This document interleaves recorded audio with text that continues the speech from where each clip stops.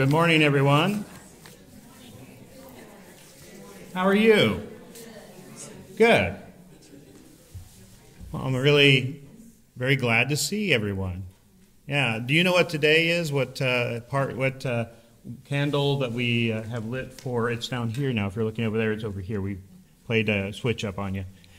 Uh, do you know what week it is? Do you remember the first week? What was the first week? Hope. Very good. How about last week? Peace. Right. And today, do you know what it is? A cheater. If you if you a cheat sheet is literally on the front of your bulletin. That's yeah. Joy. That's right. Yeah. Yeah. Joy. And we're going to really celebrate with joy today uh, the fact, of, of course, our fellowship with one another, the, the the goodness of God in that of his provision, his protection, uh, but most of all, the joy that we have that the world cannot take away from us, the joy we have in Jesus. So, do you have something you want to just praise the Lord for? Yes, ma'am. Um, God is good. He's really taking good care of me. Amen. Amen.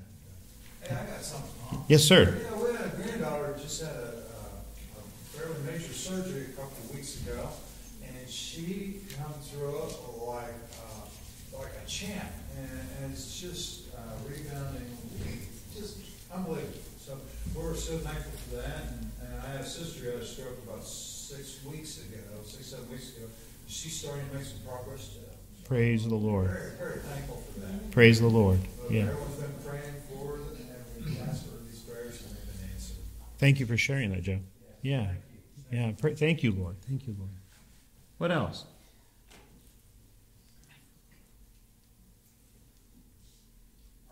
How has God shown up in your life, in your needs this past week? Can you think? You don't have to say it out loud, but can you think of a way that God has shown up in your life this past week?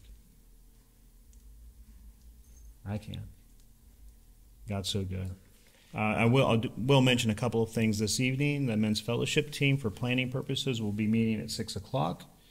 Um, right after worship, uh, there is a meeting, just a short, short meeting. If you are or have somebody you're responsible for who's going to be, be participating in the children's Christmas program next Sunday morning, uh, Diane would like to meet with you and to talk about that briefly, maybe five minutes, ten minutes at the very most uh, because I think there's some things she would like to just, she needs to find out, I think, figure out where things stand, and then also to just kind of uh, give you an idea how it might work too. So uh, there'll be a practice um, Saturday morning next week.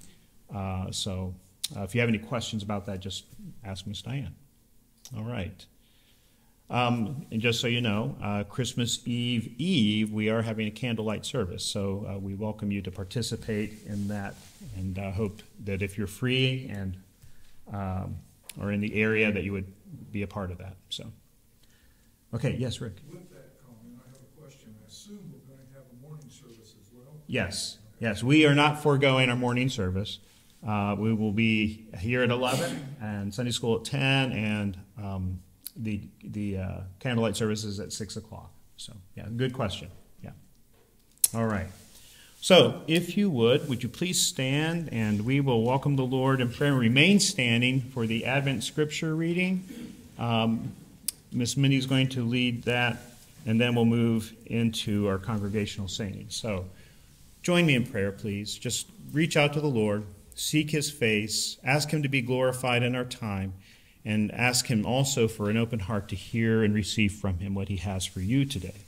So, Father God, we bless your name. We thank you, Lord. We rejoice in you, Lord. We rejoice, Lord, in who you are, Lord, as well as what you have done, what you have done for us together as, a, as, as believers, Lord, as your church, Lord, but also, Lord, what you have done for us individually.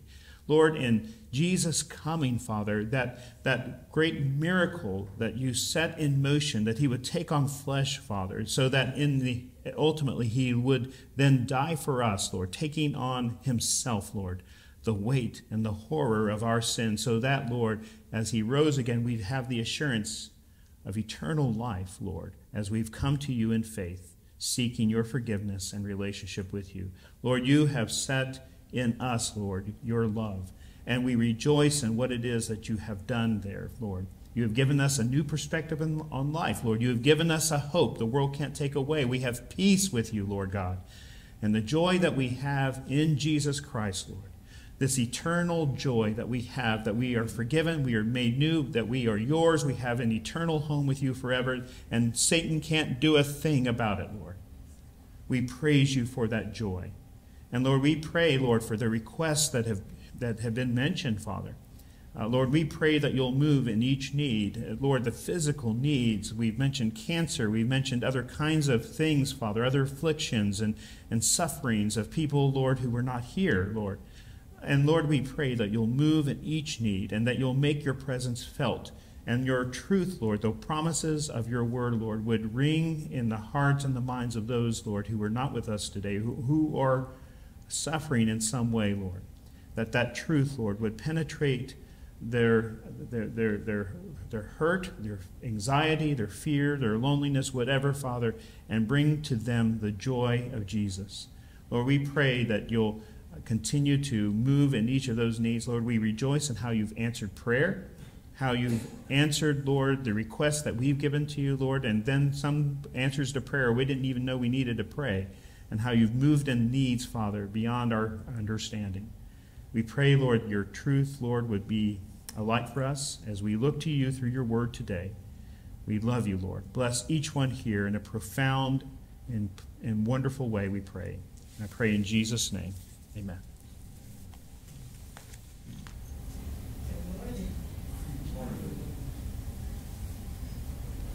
This week we light the candle is lit for joy.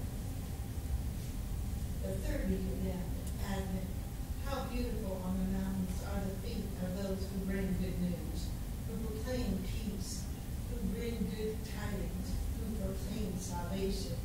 Listen your watchmen lift up their voices. Together they shout for joy. Burst into songs together, for the Lord has comforted his people.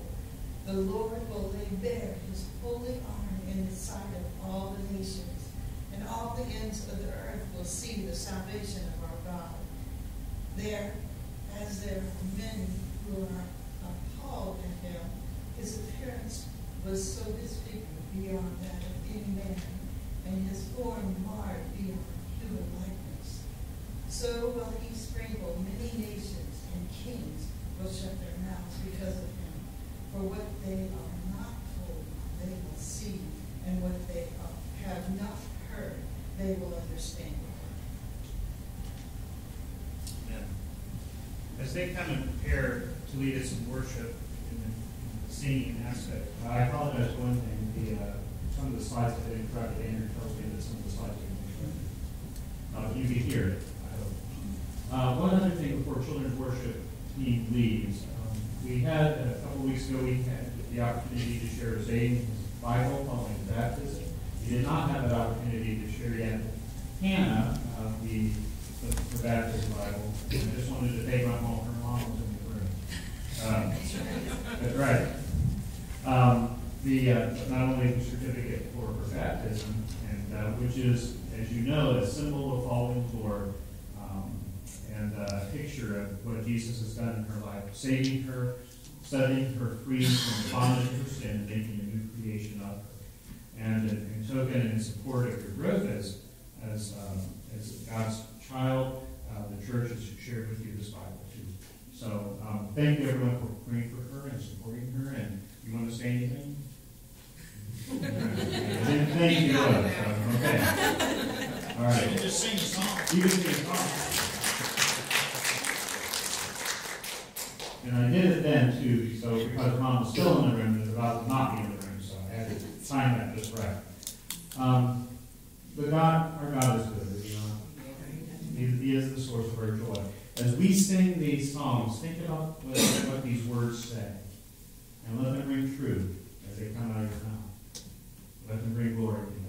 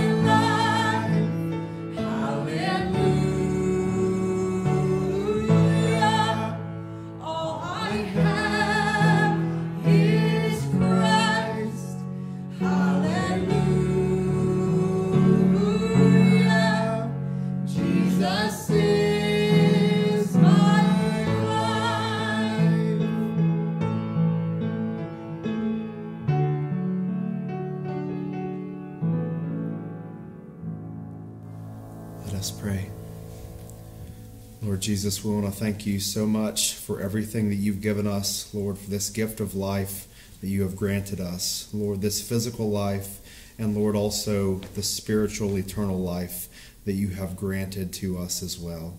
Lord, we just want to thank you and keep praising you uh, for as many days as we have left, and Lord, also into eternity with you.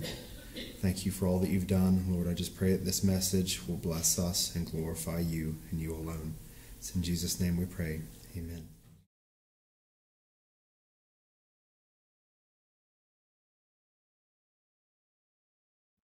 You know, we, uh, we say that Christmas is a time of joy.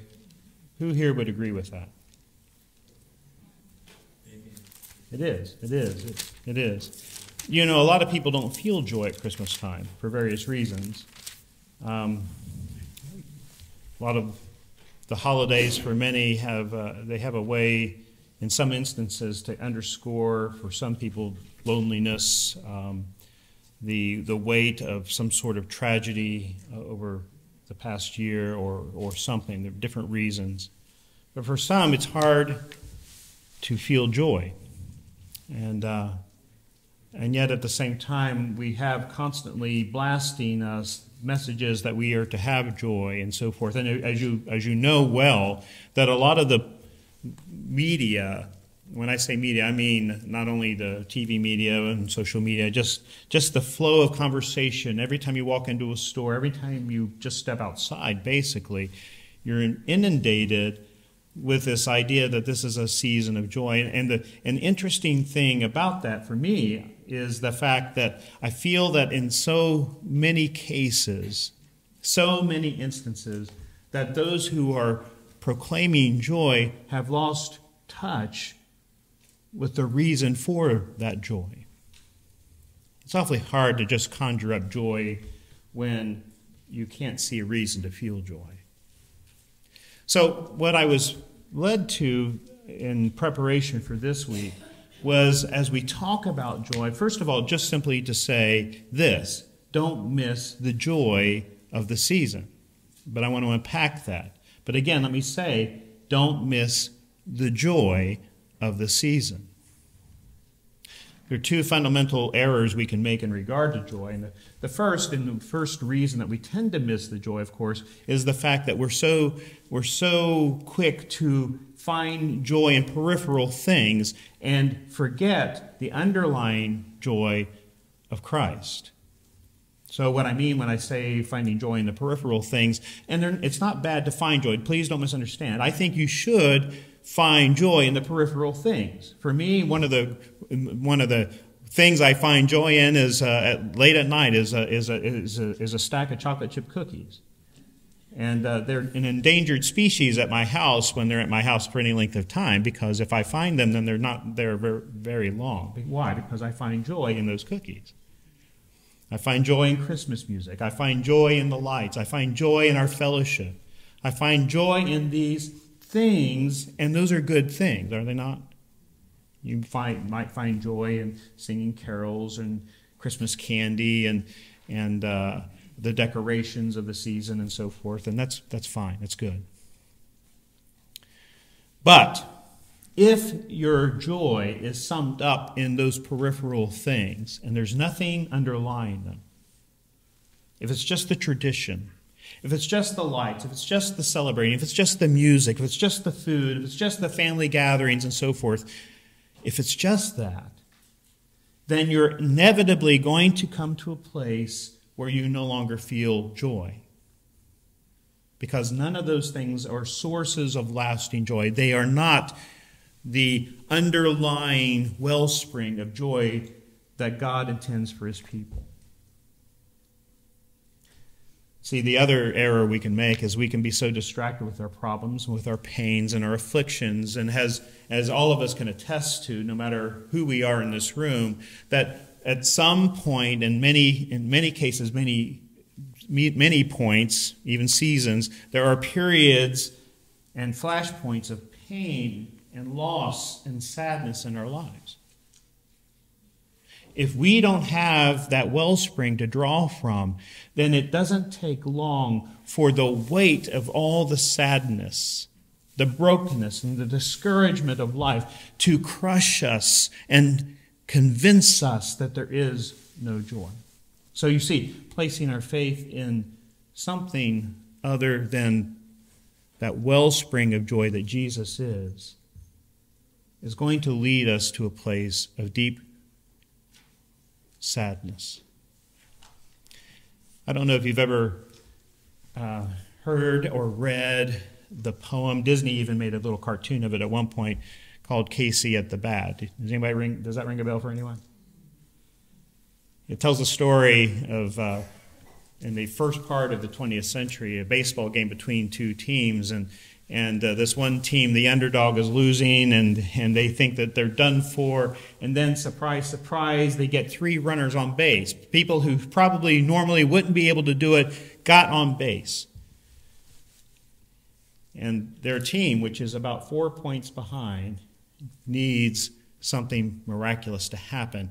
And that miracle seemed to be in the fact that those guys got on base. And so Casey at the bat tells the story of how, in that moment, their great hero, Casey, comes to bat. And in Casey, he's a, he's a formidable, formidable baseball player, and he's standing and, and he's going to knock it out of the park, and, they, and the crowds know it, and they're so excited, and they're, they're just frenzied with the victory that is surely theirs. And Casey lets a ball pass over. I would read the whole poem to you, but we don't have that kind of time. But he lets the ball go by. It's a strike because it was in the strike zone, but he didn't swing at it. He was waiting for that third strike. He lets another one come through, that second one, second strike, and the mob goes crazy. But now everything is down to that point. Now he's really going to get it. He's really going to knock that ball uh, out of the park and drive everyone home, and they're going to win that game. And the pitch is thrown. There's dust and confusion. The poem doesn't actually say at that point what happened. It concludes with this refrain. I'm going to read that to you. Oh, somewhere in this favored land, the sun is shining bright. The band is playing somewhere, and somewhere hearts are light. And somewhere men are laughing, and somewhere children shout.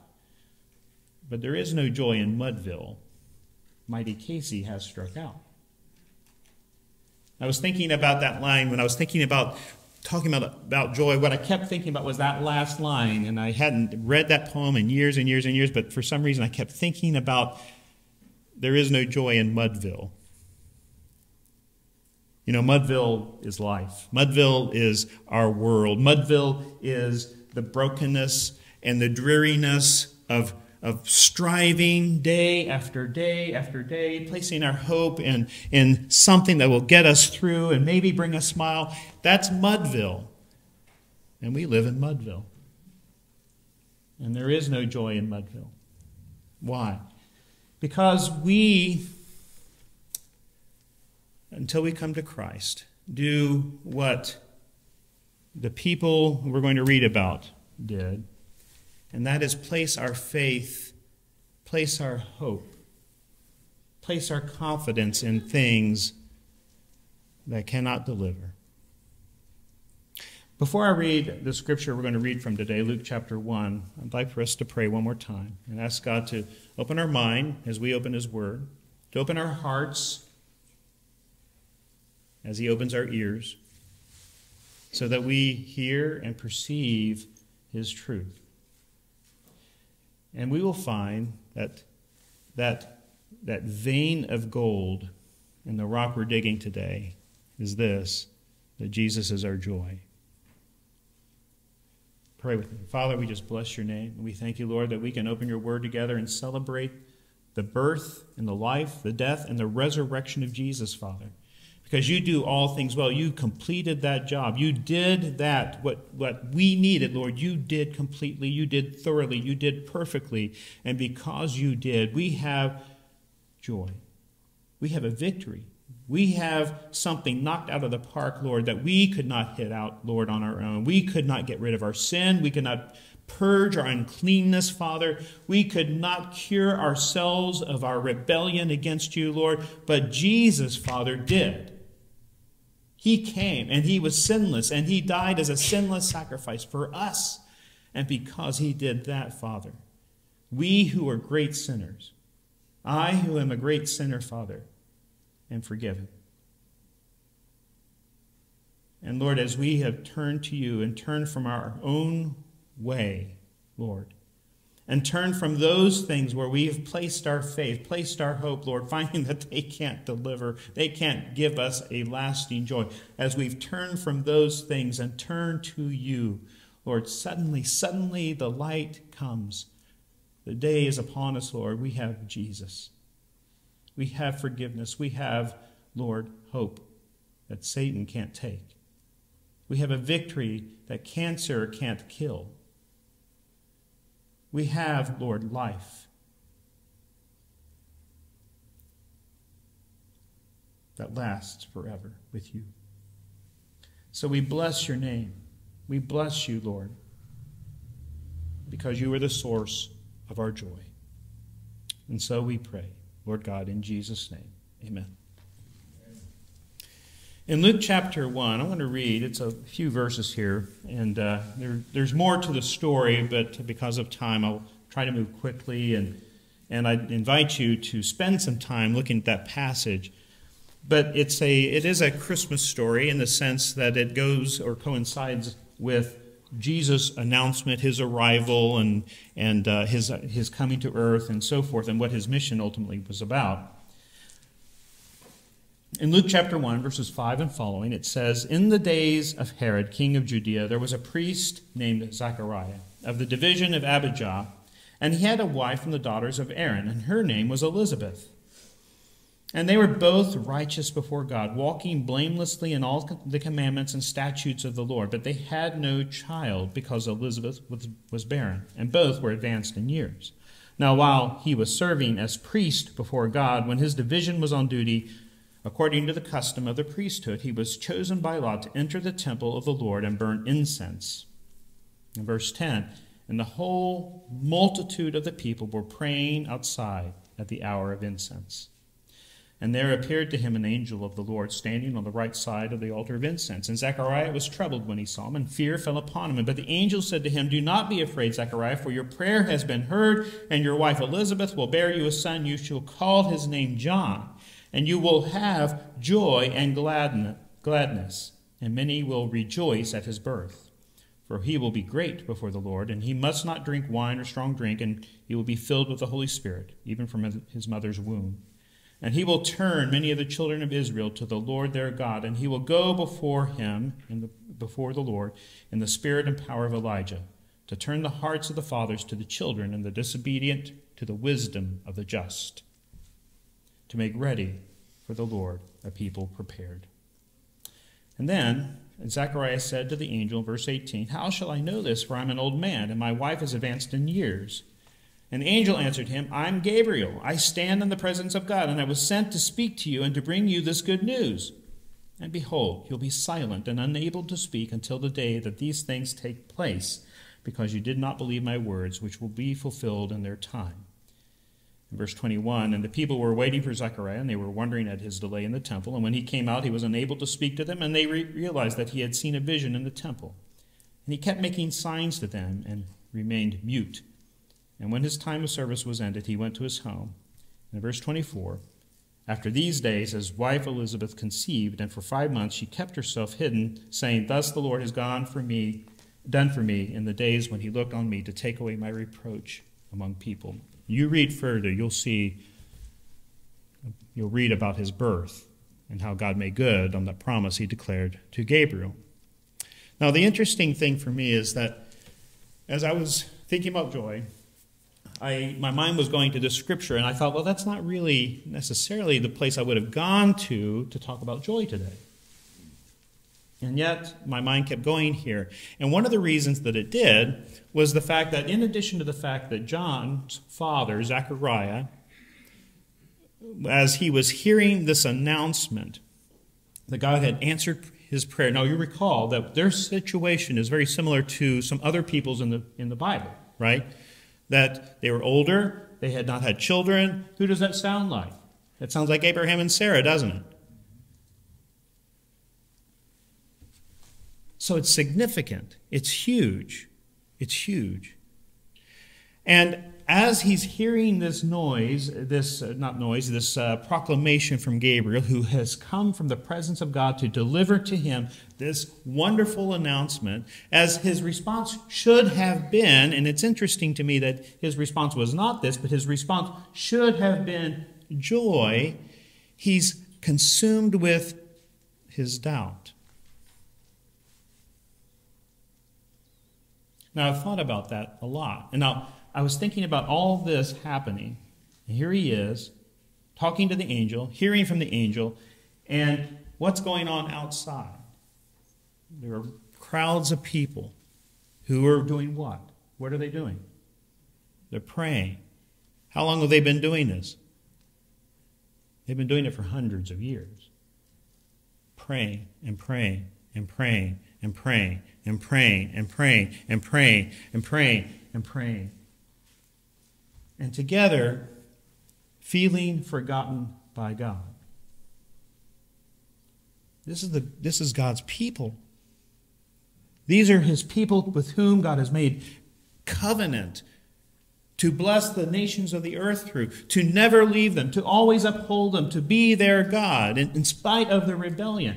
And they've been praying, and they've not heard, at least to their collective knowledge, they've not heard from God. And they've been praying. And so, what happens often when we pray and we persist and we we hang in there and time goes on and time goes on and time goes on and we feel or perceive that our prayers have not been heard, but that we become discouraged and defeated, even in our prayers. Even though we do the work of the prayer, we sometimes come to a place that we believe God is not going to answer it. All those people outside, no idea of the joyful happening, that thing that God was doing in their midst. John was his arrival was a was a personal joy for Zechariah, wasn't it? For Elizabeth too. But his mm-hmm. coming was a big picture situation because not only was God blessing them, but God is blessing the peoples because John's purpose is to prepare the way for whom? Jesus. So there's something even bigger than they can imagine going on inside the temple while they're outside praying. And I was thinking about how easy it is for us to miss that joy that God has promised us. Do you know that the God who was moving here outside of the senses of the people gathered outside, outside of their hearing, outside of their seeing, that God who was moving there powerfully, dramatically, amazingly is the same God who works today, changing hearts, changing destinies, breaking down strongholds, setting people free from the bondage of their sin, and giving them a new destiny. One that once was hell is now bound for heaven. God's doing great things. And it's easy for us to miss what He's doing because we become accustomed to failure, to defeat, I think we, like they, sometimes become distracted by worry. We're distracted. Our attention is focused on some unsolved problem or something that hasn't yet happened, something we fear may be coming down the pike for us. We become distracted by worry.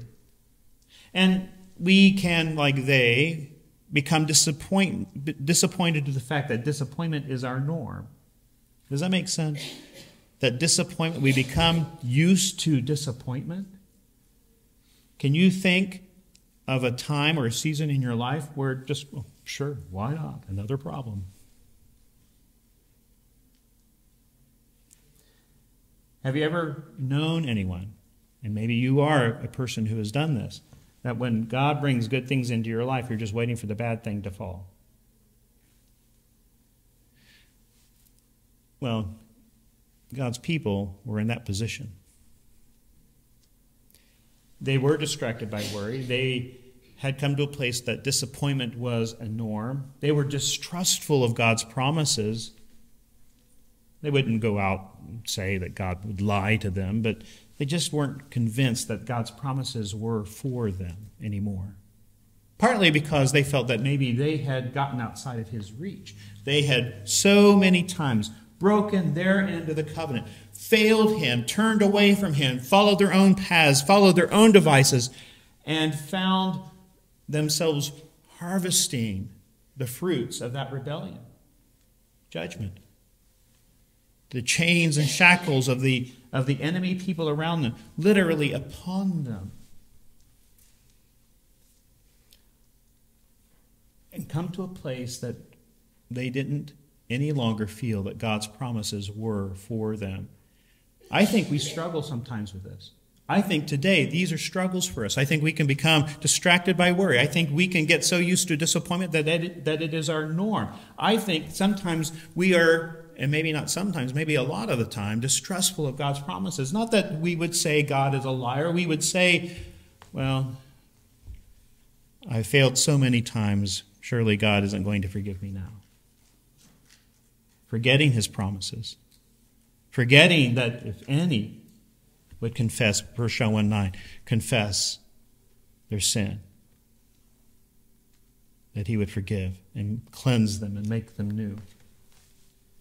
I think sometimes we also, like the people of Zechariah's day, become dismayed also by this one thing. If God does show up, well, I have to change. You know, we can get used to sadness. We can get used to failure. We can get used to pain and loss to the point that even as God works in our lives to deliver us from those things, we're not always sure we're willing to let them go. Because why? That sounds crazy, doesn't it? But we cling to them, we hold on to them because they're familiar to us. That sounds crazy, but we do it. We'll cling to our brokenness because we're afraid of where the healing of God may bring us. Because it does take us places, it takes us out of what is comfortable. God's working in your life, He's going to bring you to things that are uncomfortable, to grow you and to bless you. Why are they uncomfortable? Because they're not known to you, they're unfamiliar to you. But think of this you're asking God to work in your life, and you're asking God to work in your situation. You're work, asking God to work in your family. Be ready for Him to answer it. And as He answers it, be ready for Him to place you or lead you into uncomfortable situations. Maybe, maybe you'll find an opportunity to share Christ and you feel riddled with doubt. What do I have to say? What do I have to offer?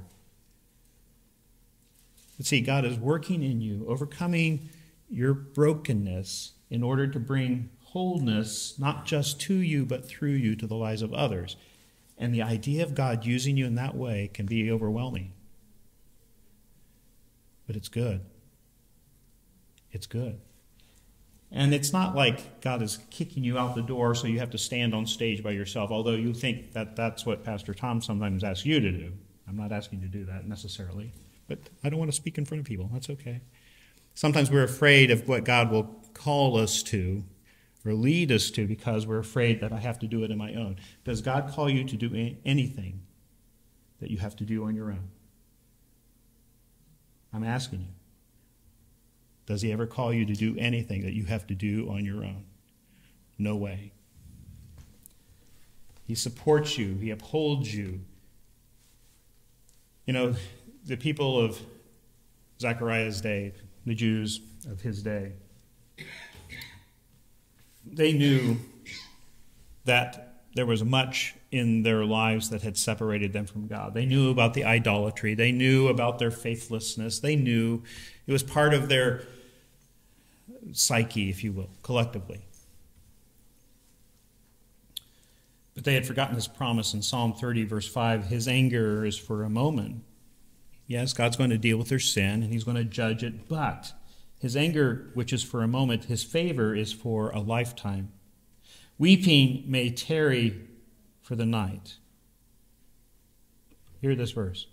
Weeping may tarry for the night, but, but joy comes in the morning.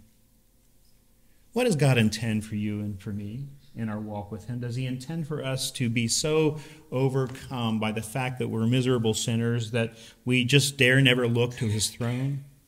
That we dare not trust that He could love us? Does God want us to be so overwhelmed with the weight of our horrible sin that we can't believe that God would love us? That we deserve all the pain that we're well, and which is actually in fact true, but that, that's not what God intends for you. What does God intend? But for you and for me to walk in the joy of a life that's been redeemed by the blood of Jesus. We're not who we once were. If you're a Christian, you, you are not who you once were. And you're no longer just a citizen of Mudville, you're a citizen of the kingdom of heaven. You belong to Him. That is your destiny. That is who goes with you when you go out into the world. This King of the universe goes with you. And there's joy in that. He doesn't handle you, He doesn't handle me as we deserve. He handles us with gentleness and compassion and mercy, inviting us to trust Him, inviting us to believe that He intends better for us than what we would settle for in the world. It's his purpose that when we see the lights and the decorations, that, that these things that we might get so distracted by, it we forget the real point of them, but that these things be pointers to the whole point of Christmas, which is that Jesus Christ was born. And there's joy in that.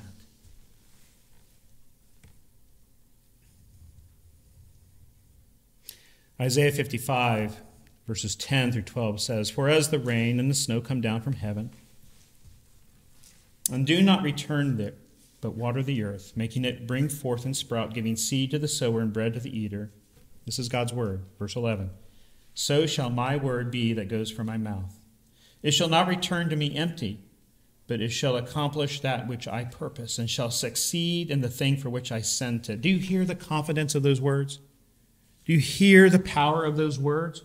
It's not maybe, I hope it will happen. This isn't God saying, well, if everything falls just right, then this will happen. This is God saying, as I have spoken, so shall it be. And as God has spoken about your life, as God has spoken about your future, so shall it be. And there is joy in that. Verse 12 For you shall go out in joy. That's his purpose for you. That we remember who we are. Who are we but the children of God? Who are we but people who deserved hell but were given heaven? People who did not deserve his love but given an abundance of lavish love, cherished by our God and Father.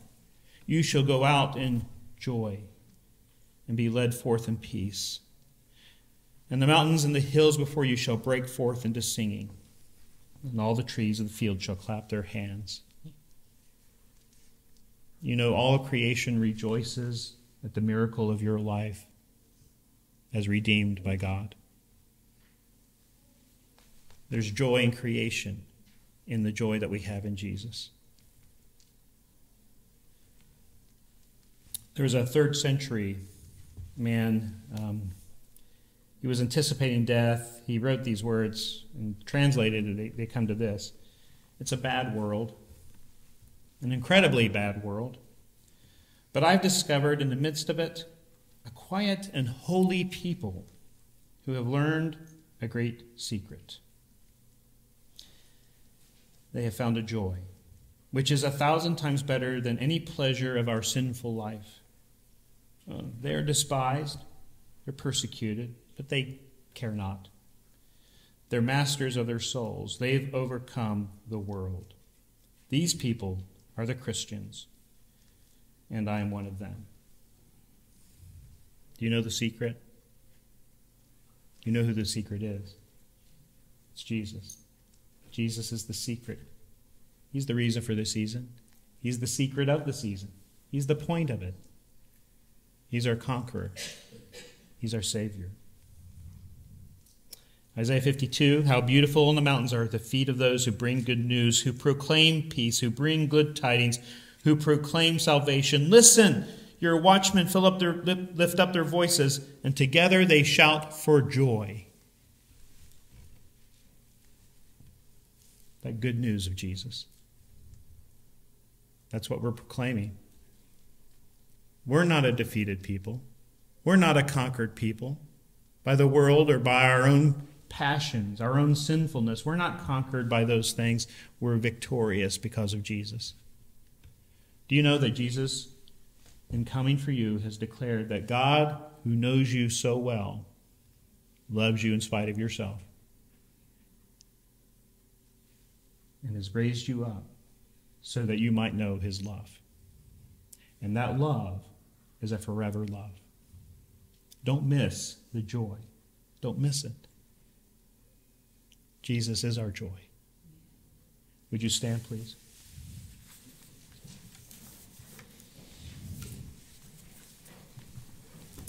I invite you to join me in prayer. And I invite you too, where you and I are often struggling to find joy, to experience this joy, to remember the joy, especially in seasons of sadness, in seasons of pain. I invite you to remember your joy and to come back to Him, to be renewed in Him. We all need that renewing. We all sometimes get distracted or dismayed. We all get confused by the messages of the world. Our pain lies to us. And it tells us we're God that we're conquered. The Word of God says we're not, that we're remembered and cherished. Be renewed in your joy. Don't miss it. Let's pray. Father, we bless your name. We thank you that as you have called us here today, Lord, that we have the opportunity to be renewed in your. Without your word, Lord, we would be lost. We would be adrift, Lord, in this crazy world around us. We wouldn't have any light, Lord, to, to navigate the darkness that surrounds us. And yet, Father, in your mercy, you have given us the light of your word. And through it shines the light of Jesus into our heart, our wretched, dark hearts, where that light has come and made us new. And we praise you, Lord God, that you have loved us that way. And that your love isn't fickle like ours, Lord. It doesn't just ebb and flow, Lord. One day you love us, the next day you don't, Lord. It is rock steady. And it never changes. And the time, the, the years as they pass, Lord, even the centuries, Lord, it cannot change the fact. It cannot erode the fact, Lord, of that love. And so, Lord, as we have trusted you, we're in safe hands. As we've trusted in you, Lord, you have given us life. You have made us new. And nothing can take that away. We have a reason to smile. We have a reason to sing. We have a reason to clap our hands and shout for joy. Not just today and in this moment, but when we leave here, when we go into work, when we go home, when we go, Lord, into the things that this week hold for us. Lord, we have a joy the world cannot take away. Because Jesus, Lord, lives forever. We love you. I pray, Lord, that you will bless each one. Help us, Lord. Help each one to turn fully to you and allow joy to renew them, to rekindle the fire of your love in their lives. And for anyone who doesn't yet know personally the joy, has not yet personally responded, has not yet personally received that forgiveness, that newness, that life that you promised them, but today be pray. Thank you for Jesus. Thank you that he was born, Lord. That he came for us. In Jesus' name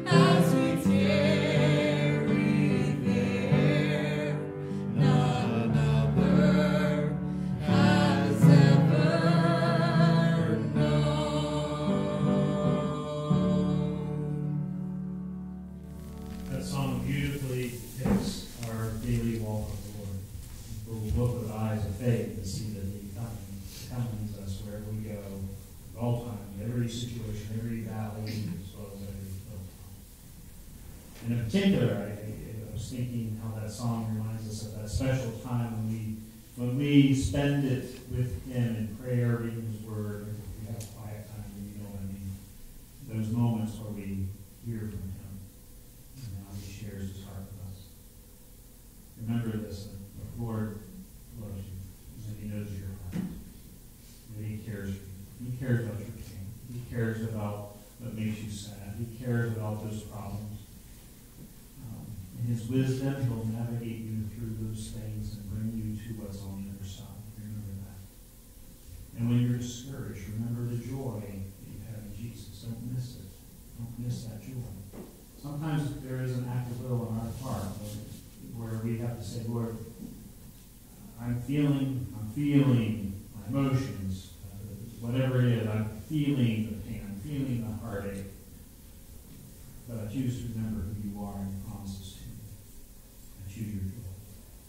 So in that, re- in that regard, remember to choose the joy. Remember his promises for you and that he is with you. So, may the Lord bless you and keep you. And he make his face shine upon you. As you trust in his word, let his joy renew your courage and be your strength. Nehemiah tells us that the joy of the Lord is our strength. That's true. Let him renew your strength as you remember the joy you have in Jesus Christ. You have a victory. You have someone who loves you is with you what all the. You, have someone